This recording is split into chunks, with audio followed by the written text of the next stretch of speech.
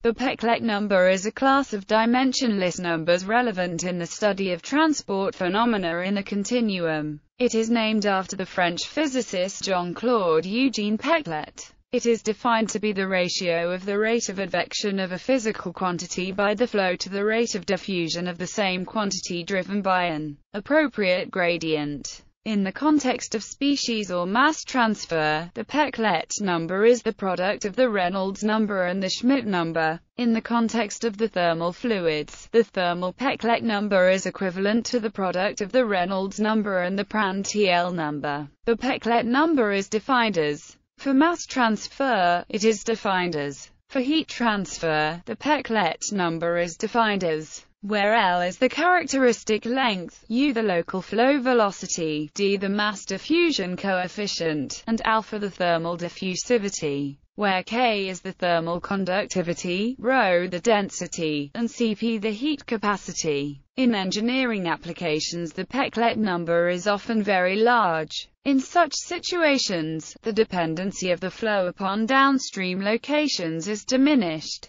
and variables in the flow tend to become one-way properties. Thus, when modeling certain situations with high Peclet numbers, simpler computational models can be adopted. A flow will often have different Peclet numbers for heat and mass. This can lead to the phenomenon of double diffusive convection. In the context of particulate motion the Peclet number have also been called Brenner number, with symbol BR, in honor of Howard Brenner.